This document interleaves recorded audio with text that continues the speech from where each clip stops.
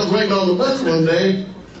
the guy says, Have you found Jesus? I said, No, but I heard he just left Chicago. if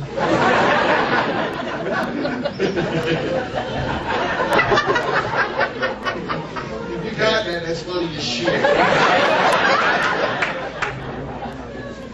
this is going to be the last impression.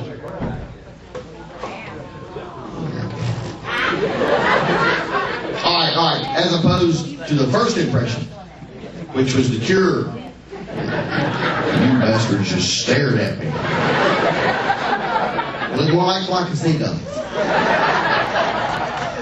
So this is the last impression. This is ZZ Top. Wait, that's not the funny part.